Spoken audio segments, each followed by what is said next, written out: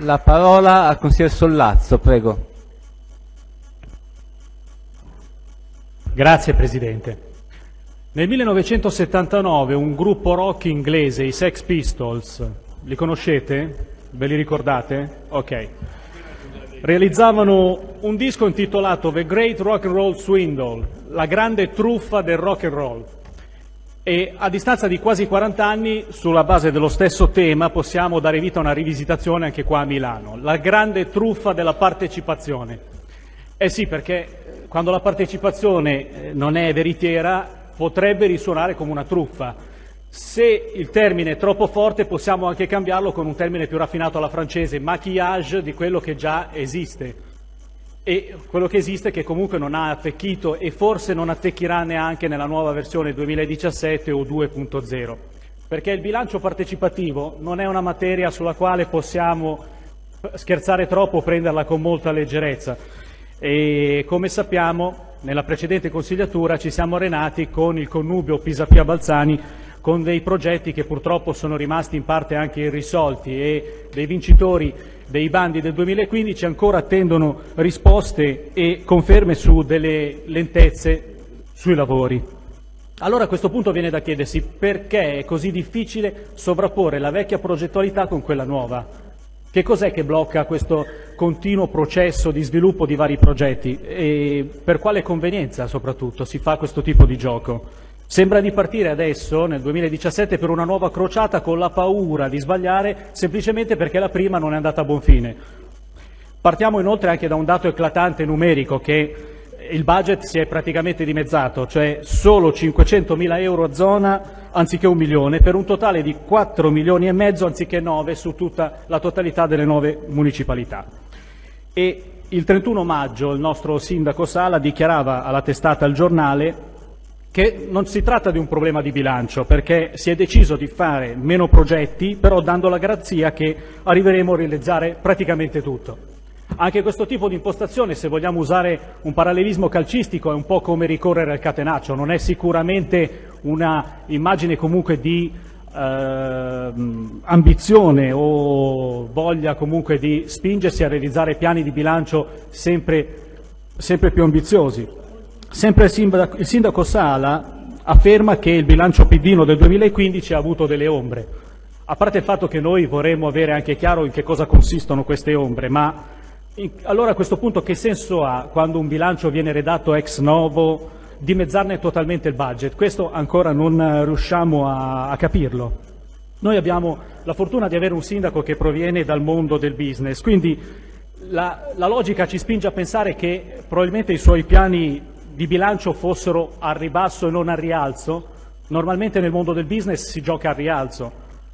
E se paragoniamo Milano a un'altra capitale europea come Parigi, di, che ha circa 2 milioni di abitanti, quindi decisamente più grande di Milano ma con delle situazioni metropolitane abbastanza simili, possiamo constatare come nel primo anno di programmazione Parigi stanzia la bellezza di 20 milioni di euro contro i 9 milioni stanziati solamente da Milano.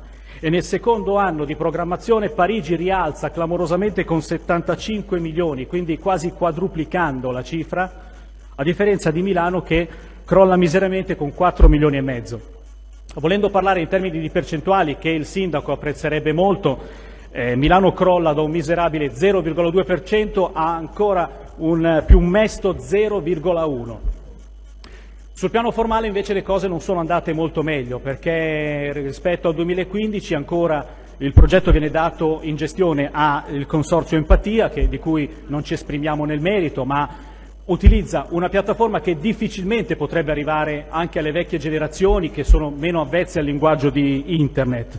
La fase di raccolta dei progetti, come sappiamo, comincia giusto tra un mese, a settembre, e la pubblicizzazione per la cittadinanza viene fatta solo attraverso affissioni e una pagina social, del social Facebook, che raggiunge neanche 3.000 utenti iscritti, detti comunemente in gergo like. Un'autentica vergogna se pensiamo per una città come Milano che è all'interno di una regione fra le più popolate.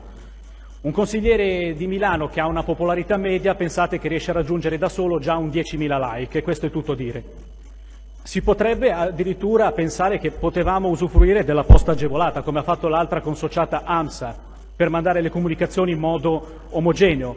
E tra l'altro la stessa AMSA, vorrei ricordarvi, che ha cinque volte di più i like rispetto alla pagina del bilancio partecipativo, quindi viene da pensare che forse noi valiamo meno della monnezza in rapporto?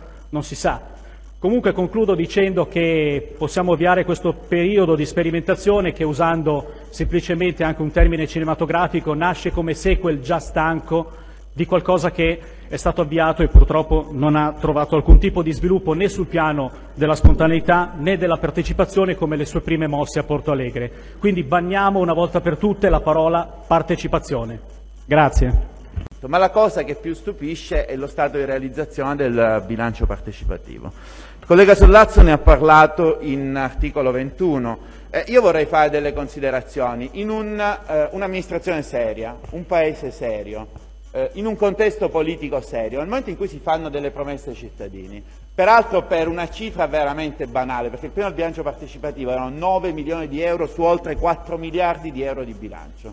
Quando a distanza di due anni e mezzo non si riescono a realizzare il 60 il 70% delle opere che dovevano essere iniziate da oltre un anno, e chiaramente si crea un problema di fondo, ma è un problema oggettivo. Eh, l'assessore Di Parini eh, va in giro per spiegare gli spostamenti da quest'anno al prossimo e così via.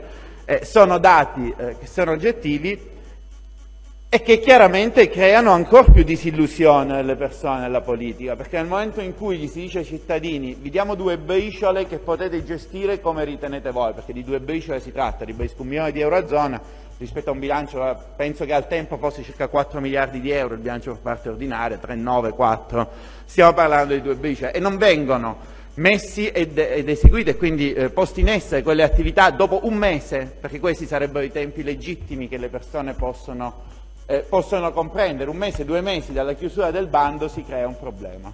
Eh, io non porrò grandi questioni sulla partecipazione, dico semplicemente che questo progetto è fallito. È fallito e anche voi ne date atto nel momento in cui da 9 milioni eh, decidete di stanziarne in quello di quest'anno 4. Non vi dico che dovevate aumentare, ma quantomeno mantenere eh, quel livello minimo che era stato, che era stato assicurato all'inizio, ma soprattutto, al di là del mantenere quel livello minimo, eh, vedere di realizzare quello che si promette. Infatti il problema più grosso della politica, al di là poi delle opere di ragioneria o delle, delle buone attività professionali sulle quali nessuno ha nulla da dire è proprio quello di riuscire a dare una risposta concreta, non semplicemente a parole, rispetto a quelle che sono le esigenze e soprattutto a quelle che sono le promesse fatte, cosa che la politica ormai sempre più spesso tende ad evitare di fare.